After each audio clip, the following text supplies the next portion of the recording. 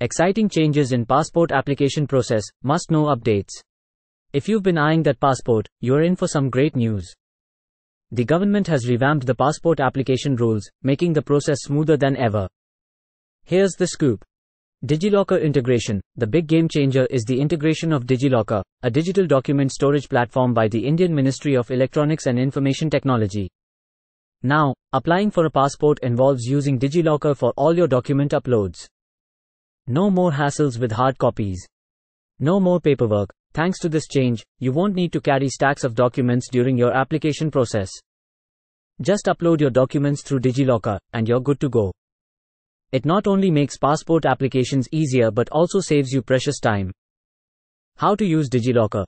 If you're wondering what DigiLocker is all about, it's essentially your digital document safe.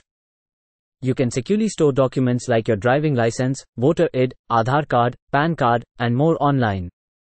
Here's how to get started. Step 1. Download the DigiLocker app from the Google Play Store. Step 2. To create an account, you'll need your Aadhaar card. Step 3. DigiLocker's mission is to reduce paper usage and promote e-documents, so you are contributing to a greener planet. Creating your digital locker. Now, let's walk through creating your DigiLocker account.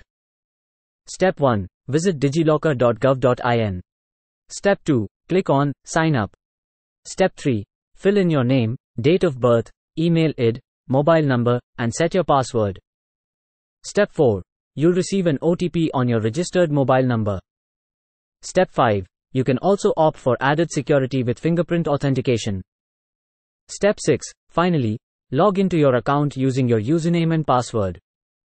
With your DigiLocker account up and running, you are all set to streamline your passport application process. Say goodbye to paperwork hassles and hello to a more convenient way to secure your passport. Get ready to embark on your next adventure with ease.